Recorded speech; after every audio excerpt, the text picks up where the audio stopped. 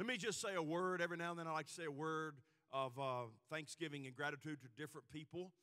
Uh, first of all, let me just echo what Pastor Austin said earlier. For all of you that came out yesterday, I don't know how many we had 40 to 60, somewhere in that range. We had a lot of people here. Thank you so much. We didn't just work two or three hours, we worked from nine to six. Amen. And we worked hard and you worked hard. And I want to just say thank you so much for having a servant attitude and coming out and, and doing what you did. And then also, I want to just give it up for one of our serve teams today. I'm standing on this platform. Each one of these pieces weigh, I don't know how much 150, 200 pounds. Each one of these pieces. We got guys and gals that come in every single Sunday at 6 o'clock a.m. and for an hour Takes them about an hour. They set this stage up.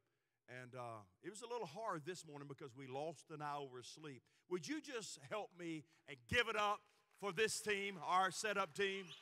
Amen. Come on. We are so, so, so thankful, so thankful for them. And we're glad to have you here today. And if you're a first time guest, I'm Pastor Ronnie Coleman, and I'm the pastor here, the lead pastor.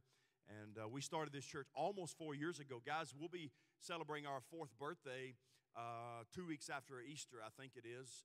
And so uh, we're really excited about what God is doing, what God has done, but we're excited about what God's going to do this day because I believe that God has a word, a word for me and for you. So uh, let's look together at this subject overcoming temptation.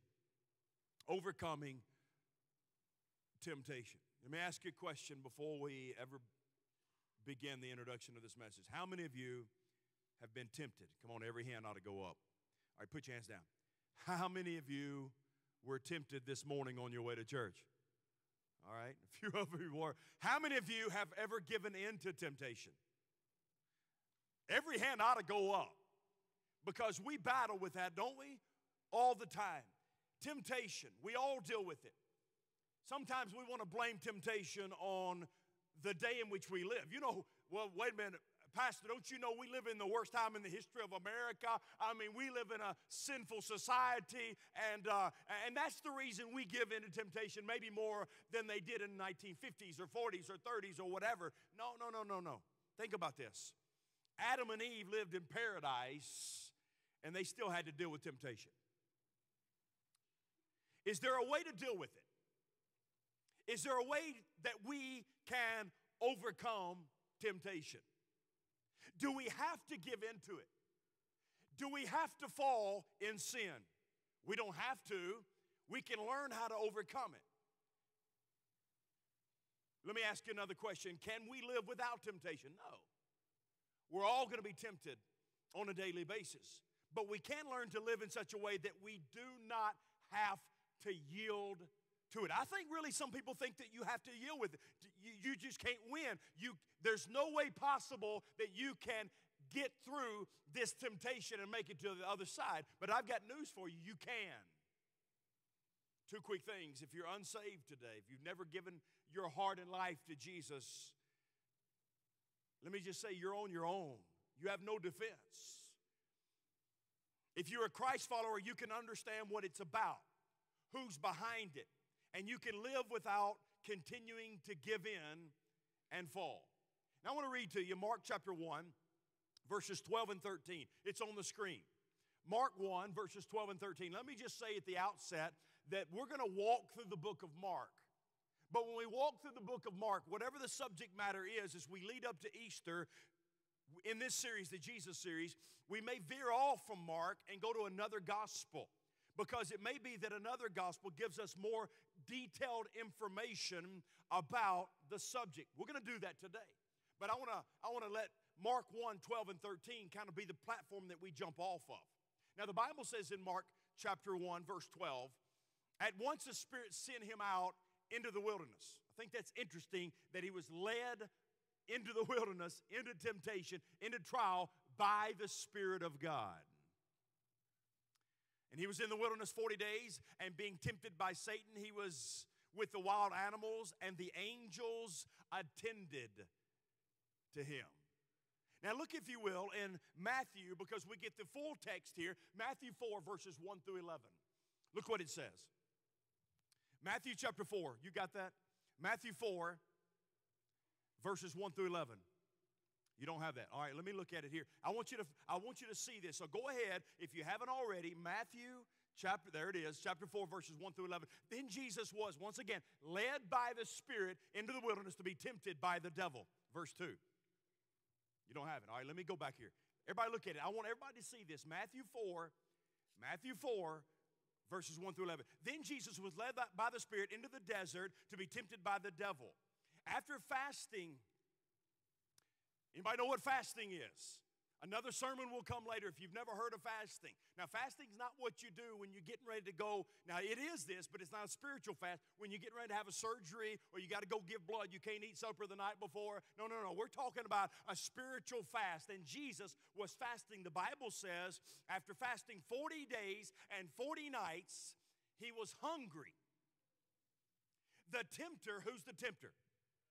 Come on, talk to me. Who's the tempter? All right, now watch this. The tempter came to him and said, If you're the Son of God, tell the stones to become bread. And Jesus answered, It is written, Man does not live on bread alone, but on every word that comes from the mouth of God. Then the devil took him to the holy city and had him stand on the highest point of the temple. If you're the Son of God, he said, throw yourself down, for it is written, He will command His angels concerning you, and they will lift you up in their hands. Now, the devil's quoting scripture here. So that you will not strike your foot against the stone. And Jesus answered and said, It is also written, Do not put the Lord your God to the test. Verse 8. Again, the devil took him to the very high mountain and showed him all the kingdoms of the world and their splendor. And all this I will give you. And he said, If you will bow down and worship me. And Jesus said to him, Away from me, Satan, for it is written. Did you notice every time that he tempted him, he came back with, It is written. Say it with me. It is written. Come on, say it again. It is written. Guys, here's the deal the Word of God is powerful. It's powerful. If you go to our website and you look at our core values of our church, one of our core values is conservative. I had one person come to me on one occasion. Well, I, I just don't think I can attend a church or, or go to a church. I just don't think a conservative church is going to reach very many people in the day in which we live. Well, in their mind, they were thinking conservative politically. One of our core values is progressive. Don't think that means uh, being liberal either. But she was thinking, this person was thinking that conservative, conservative means we believe the Word of God, every single word of it. Why? Because Jesus did. Jesus said, It is written. It is written. The last verse he said, It is written, worship the Lord your God and serve him only. And the, then the devil left him and the angels came and attended him. Listen, when you quote the word of God at the enemy, he's got to run, he's got to flee. We're going to talk more about that in a moment. The word of God. So here we have in this passage of scripture, I think, a formula how you and I can overcome temptation in our lives. Now, what's a definition of temptation? Let me give it to you. You might want to jot this down. A definition of temptation is simply this temptation is an enticement to get a person to act contrary to God's word and God's will. Let me repeat that. Temptation is simply an enticement to get someone, a person, to act contrary to God's word and God's will. Why? Because obedience to God is paramount. God wants his children to be obedient to him. Therefore, now watch this, the other side of the coin is disobedience is the end game for the enemy. There's nothing that would make the devil happier in my life and in your life than for you and I to be disobedient to God's word and God's will for our lives. So, how are we going to overcome temptation? Well, what I want to do today is I want to give you six questions. And then we're going to answer those questions according to the Word of God. Question number one jot these things down. Question number one When does temptation come? When does temptation come? Well, the Bible says in Matthew chapter 4 and verse 1 then Jesus was led. That's so important. Circle that word if you write in your Bible. Jesus was led by the Spirit into the wilderness. Jesus was led. So, when does temptation come in our lives? Well, oftentimes it comes when we're weak. Jesus, the Bible said, had just been praying, talking to God day and night, fasting, hasn't eaten anything in 40 days, and he's physically, emotionally, mentally drained. I don't know if you've ever fasted very long or not. I, the longest fast I ever did was a seven day fast, and I want to tell you, after seven days, you're tired, you're weak, you're hungry. Could you imagine a 40 day fast. The Bible says that Jesus was weak and he was tired. Why? Because he had been fasting. Oftentimes, the devil attacks you when we are weak. He knows, he knows that we're hungry. He knows that we're tired and he comes after you when you're, listen, when you and I are weak, we are a sitting duck for the enemy. I know you've heard me say this before, and I, I and I want to uh, I want to um, take my own advice. I need to take my own advice. But sometimes the most spiritual thing you can do is take a break, rest, take a nap, take a vacation. Well, I ain't got no money. Well, take a vacation at home. Rest when we are spiritually, mentally, physically exhausted, we are a sitting duck for the enemy. He comes at us when we are weak, but also, now watch this, not only when we're weak, but also after times of blessing. After times of blessing. After mountaintop experiences. Well, what do you mean? Well, I don't know if you notice this, but in chapter 4, verse 1, it starts off the sentence with the word then. Why? Because he wants you to know there was something before that happened before uh, what's taking place right now. What happened before? Jesus had a mountaintop experience. He was just baptized by his cousin, John the Baptist. He was entering into his public ministry, and about that time, watch this, about that time, God the Father spoke in an audible voice. And he said, so everybody could hear, This is my son in whom I'm well pleased. I mean, this was a mountaintop experience in Matthew chapter 3. So sometimes the devil attacks right after a mountaintop experience. Have you ever experienced that before in your life? Of course you have. Maybe it was that Sunday you got saved. Maybe it was something that happened in you. Maybe it was last Sunday. Maybe it was when you got saved way back. But God, God, sometimes the devil attacks after a mountaintop experience. Now, guys, listen. After the dove, the Bible tells us the dove came and landed on Jesus. After the dove comes the devil. After the dove comes the devil. After the blessing comes the temptation. So, number one, he attacks us when we're weak. Number two, he attacks us after a blessing or mountaintop experience. But also now, this is one that you may not you may not have thought of. He also attacks when we think we're strong. Now, now follow this. When we think we're strong, in other words, this can make us very vulnerable. Now, young Christians get it. If you've been saved maybe a week, two weeks, a year, you get this because you know that without Jesus, you're, I mean, you're just physically, you're spiritually weak and you're young and you're being nurtured and you're trying to grow in your faith and you get this. But somebody that maybe has been saved for five years or 10 or 20 or 30 years, now watch this. This is what happens to you. Sometimes you may say, Well, I'd never do that. Oh, I, I'd never give into that temptation like that person did. Can I remind you, the Bible says pride comes before the fall? I mean, look at Peter.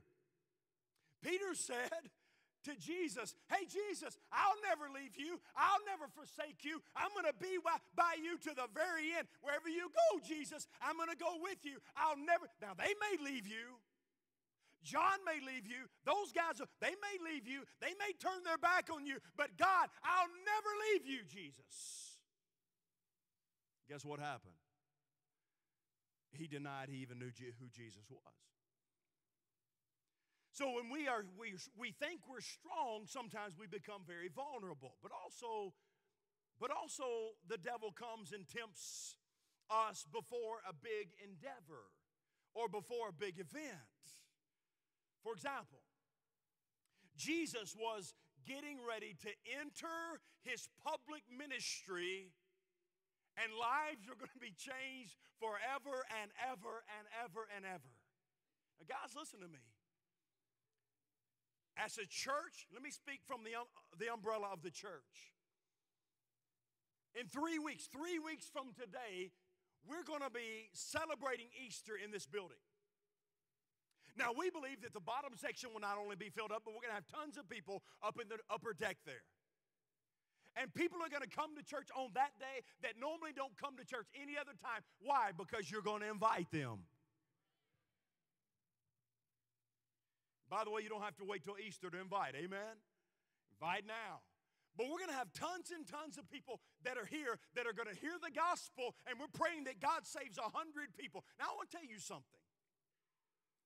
That's going to be a big endeavor. That's going to be a big event. And many people, potentially, their life is going to be changed by Jesus. Do you think that makes the devil happy? No, he's going to come against this church with everything he's got. He's going to tempt us, he's going to try us, and we're going to go through some stuff the next three weeks. I'm just telling you guys, the devil is so stinking predictable. So when you get ready to go into a, a big event or a big endeavor, just expect. Jesus was about to enter his public ministry and change the world. And Satan was trying to derail him. He'll do the same thing to you. He'll do the same thing to you. He wants to derail you. We got to get this thing out of our minds that we think that, man, if I'm living for Jesus, everything's going to be a cakewalk. Where did you get that from? Life's tough, amen? Real quick, I got I, I spent way too much time. Number two, question number two. Where does temptation come from? Chapter 4 of Matthew, verse 3. Where does temptation come from? The Bible says, Then the tempter came to him and said, If you are the Son of God, tell the stones to become bread. If the tempter came to him, who's the tempter? The tempter is Satan. Where does temptation come from? Number one, Satan. Folks, he's real. Wait a minute, wait a minute. I thought I was coming to one of these young, cool, uh, you know, loud music, shiny lights, lights down, lights up. I mean, I, I thought I was coming to one of these new hipster kind of churches. You don't believe in the devil, do you? We absolutely do. If there is a God, there is a devil. If there is a heaven, there's a hell. Whoa! You don't believe in hell, do you? We sure do because Jesus believed in hell and Jesus preached on it more than he did heaven. The devil is alive and well, and what he wants to do with your life and my life and this church is to derail it and to cause havoc in it. That's what the devil is about. He is real, he's intelligent, he knows your weak spots. He's completely evil. He's the father of lies. He's a fallen angel. Now, guys, don't get don't misunderstand. It's not like God is here and the devil is here. Oh, I know that's kind of like dualism. I mean, it's they both have the same power. Absolutely not. God created Lucifer. Lucifer sinned against God, became proud, and he was cast out of heaven. The devil has on, the only authority he has is the authority that God gives him. He wants to destroy us, he wants to derail us.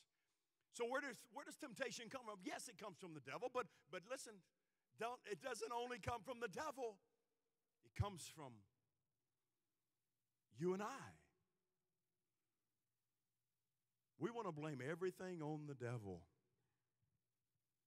Well, the devil made me do it. No, he didn't. I want to ask you to look with me in James chapter 1 and verse 14. James 1 14 down through verse 16, the Bible says, But each person is tempted watch this, when they are dragged away by their, oh my goodness, their own evil desire and enticed. The Bible says that our hearts, our hearts are desperately wicked. That's what the Bible says. Then, after desire has conceived, it, it gives birth to sin, and sin, when it is full grown, gives birth to death. Don't be deceived, my dear brothers and sisters. Sometimes, listen, we want to blame everything on the devil. And I'm here to tell you, and I'm here to tell myself, that sometimes it's not the devil, sometimes it's you and I. 1 Corinthians chapter 10 and verse 13, the Bible says that God gives us a way out. 1 Corinthians 10 13, no temptation has overtaken you except what is common to mankind. And God is faithful. Say it with me. God is faithful. Come on, say it with me. God is faithful. He will not let you be tempted beyond what you can bear. But when you are tempted, He will also provide a way out so that you can endure it. He provides a way out. Temptation comes to all the young, the old, men, women, new Christians, mature Christians. Question number three. Question number three is Who does temptation come to? Who does it come to? Well, in a very broad sense, it comes to everybody. But in a specific sense, I want you to write these things down. In a specific sense, I think that out of my 20 plus years, 25, 26 plus years of full time ministry, I really believe that the devil, now watch this, I believe that the devil attacks more than anybody else new believers, new believers, and those who are a threat to him. Well, let's think about it. Let's just let's talk about new believers for a minute. New believers. Do you remember when you first got saved? I mean, everything you were on cloud nine, man. I mean, you were so pumped. You were so excited about. I mean, you just couldn't believe the peace that you felt, the joy that you felt on the inside. And you were, man, you were so super pumped about living for God. And then all of a sudden, here comes the devil. Nobody in here but me, right? Y'all remember that? Man, the devil knows if he can attack a new believer and derail them, he's done his job. At first, man, you're excited, and then here comes the enemy. He tries to discourage new Christians. That's why it's so important for us to pray for and nurture new believers in Christ. Those of you that have been saved recently, those of you who've been saved in the last two or three years. Those of you that will be saved today, you're going to be encouraged immediately to join a dinner party and to get plugged into a serve team. And, and, I think it's necessary. We need to get plugged in. Why? Because as a new believer, we need other Christians around us to encourage us and help us through those difficult times that the devil brings us. So, who, who does temptation come to? Number one, new believers. Number two, those who are a threat to him. Vance Havner, that great preacher, said if you haven't been through the devil's sifter, you're probably not worth sifting. Hello? Now, listen, if you feel like you're being tempted on a constant basis, some of you nodding your head like right now. You're like, if some of you says you feel like you're being tempted on con- constantly, can I just say that's not a bad thing? What that means is that you're on the right track. Because if you're giving your life to Jesus and serving God with everything that's within you, I mean, you are looking forward to what God has in store for you today and tomorrow, and you're pumped about living for Christ, guys, listen, that don't make the devil happy. You're a threat to him. But if you're not tempted at all, that means he's not worried about you. He's not concerned about you. Question number four How does temptation come to us? You don't get anything else I say today, get this. How does temptation come to us? In most cases, Satan uses the mind. The mind. Listen to what the Word of God says in 2 Corinthians chapter 11 and verse 3. The Bible says, But I'm afraid that just as Eve was deceived by the serpent's cunning, your minds, say your minds. Come on, wake up, say your minds. Your minds may somehow be led astray from your sincere and pure devotion to Christ. Second Corinthians chapter 10 and verse 4, look what he says. The weapons we fight with are not the weapons of the world. On the contrary, they have divine power to demolish strongholds. Where do strongholds develop? They develop in the mind. When Satan tempts us, he primarily tempts us in the mind. Our problem is that oftentimes we want to flirt with sin. We know we ought not do this, or we know we ought not do that, or this or that, and we want to just kind of flirt. We want a window shop. How many of you ladies I tell you, I'm just going to window shop? Tammy tells me uh, all the time, she lies.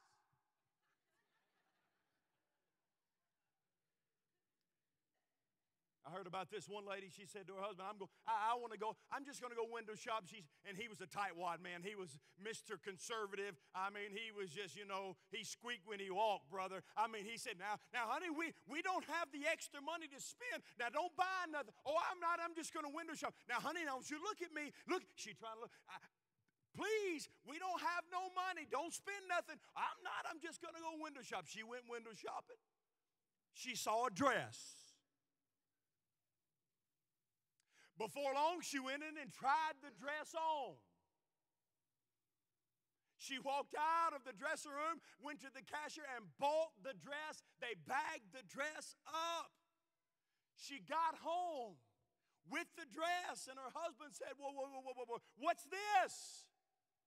Uh, it's a dress. I saw it. I just couldn't, I just couldn't resist. But, honey, I told you that we, we didn't have the money to buy a dress or buy anything. You said you were going to window shop. She said, The devil made me do it. So, what do you mean the devil made? He appeared in the dressing room. And he said, You look good in that dress. He said, Well, you should have told him at that very moment, Get thee behind me, Satan. She said, I did. Then he said, Looks good from the back, too. Sometimes we want a window shop. There's some things that we know we need to stay away from, and you say, Man, I'm gonna come, I, am gonna look, I'm not gonna touch, I'm not gonna buy, I'm just gonna flirt a little bit. Guys, listen, if it's something that you don't need to be around, don't do that. How does temptation come to us? It comes to our minds. Number five, where's the best place to be when temptation comes? Are you ready for this? In the will of God. Matthew chapter 4. It's on the screen. Matthew 4 and verse 1. Then Jesus was led by the Spirit into the wilderness. Where was Jesus when the temptation came? He was in the very will of God. You know, oftentimes we bring temptation on ourselves because we are outside of the will of God. We bring it on ourselves unnecessarily. Why? How? We hang out with the wrong people. We go to the wrong places and we end up doing the wrong thing. Peter's another good example of that. When Jesus was in going through trial after trial and being cross examined, Peter decided not to go with Jesus and be by his side. Friend, I want to tell you the best place to be is by his side. And Peter did not follow Jesus. He, he, he stopped short and he began to warm his hands around the enemy's fire.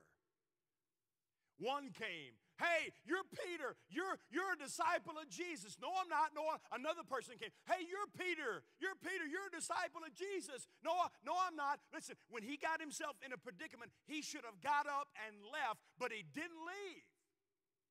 He stayed there. Another one came. You're a disciple of Jesus. No, I'm not. And he cursed that he even knew God. Listen, he, he, he let himself get in a position, the wrong place, the wrong people, and the wrong thing happened in his life. He was outside of the will of God.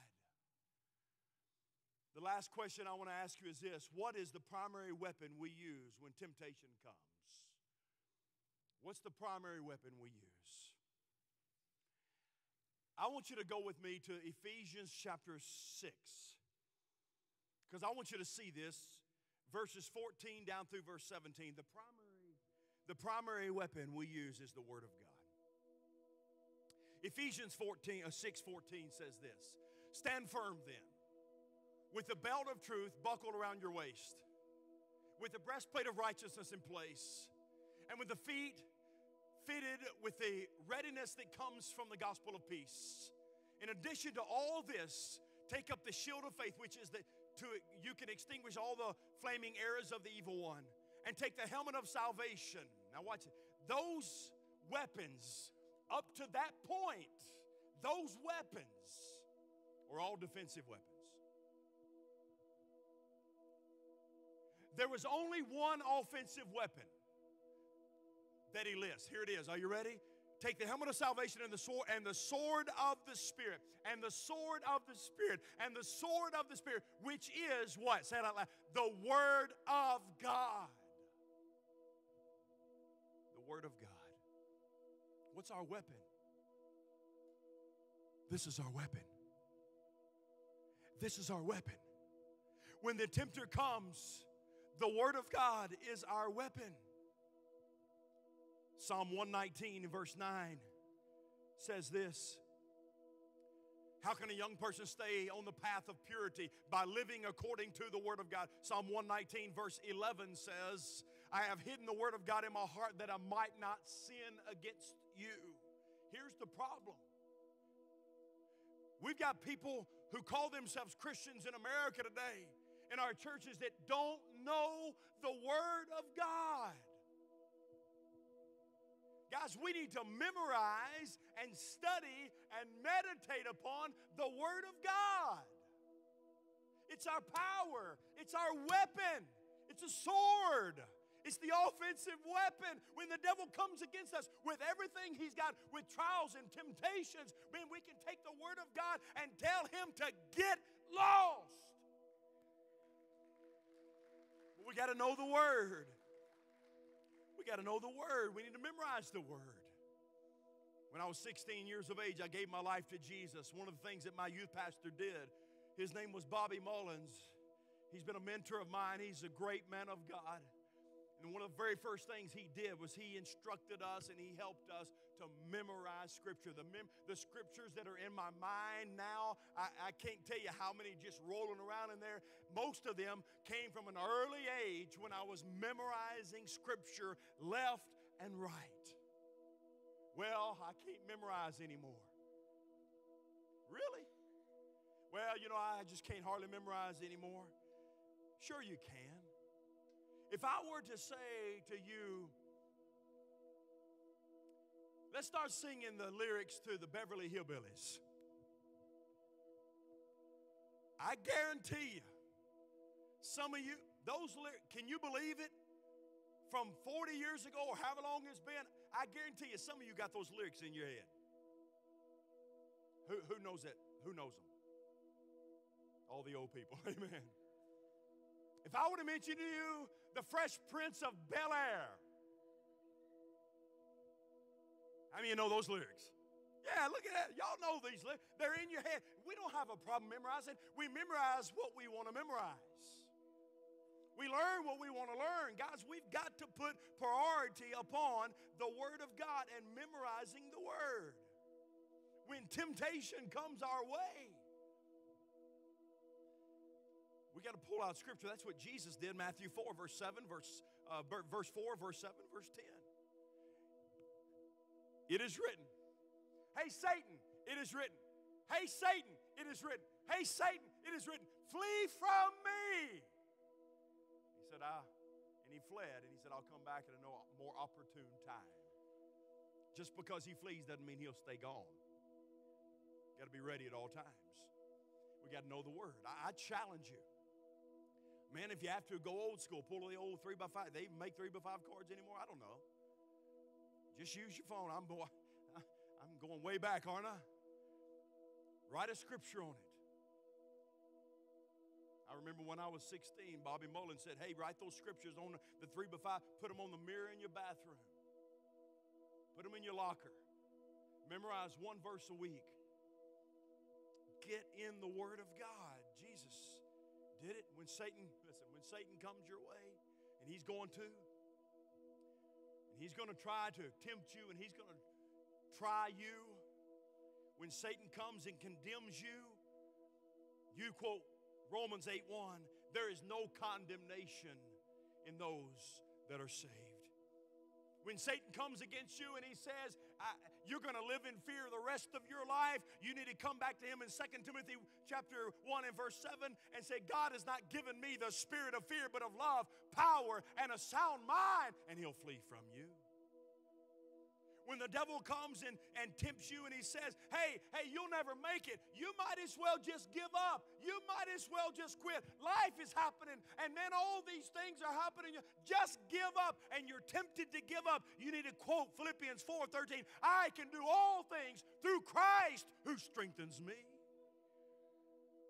When the devil comes against you and he tempts you to gossip,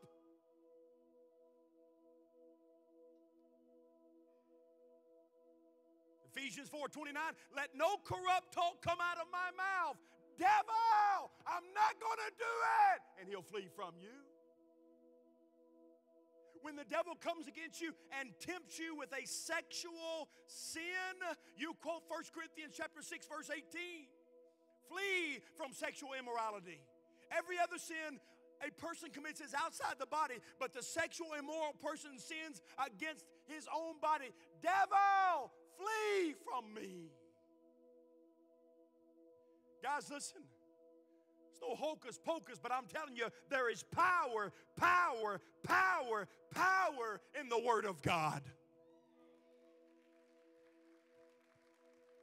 This is not just an ordinary book. It's living, it's breathing, it's infallible, it's inerrant. There's no errors in it. It is the Word of the living God. Child of God, get to know it, memorize it, meditate upon it, learn it.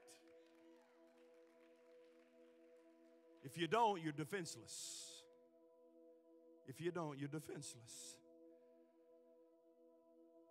When Satan tempts you, you quote the Word of God at him and you say, Get behind me, Satan. We're so afraid of the devil. I mean, doesn't he have like a red suit on and a cape, long tail? I mean, isn't he mean and I mean, I mean, he is a vicious. Let me tell you something. He is vicious and he's powerful, but he's not all powerful because the one that is all powerful is living inside of you, child of God. Got to learn the word. We got to learn the word. Child of God, let me say something to you for a second. A crucifix around your neck is not going to do it.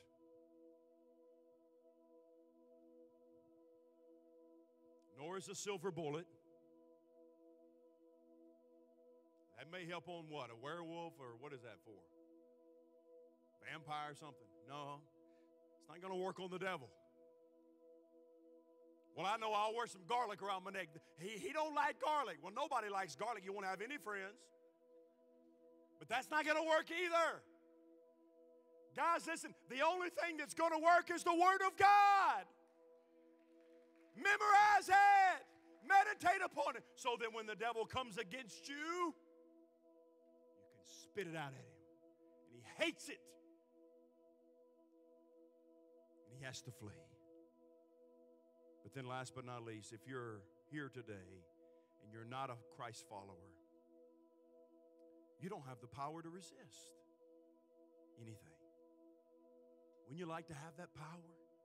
He says, a child of God, we have the power to resist. It's not our power, but it's the power of God living inside of us. But if you're here and you're not a child of God and you're not a Christ follower, that power doesn't reside inside of you. But hear, hear me, He can and He wants to live inside of you. He wants to save you. He wants to come and live inside of you. But you've got to be willing to say yes to Him.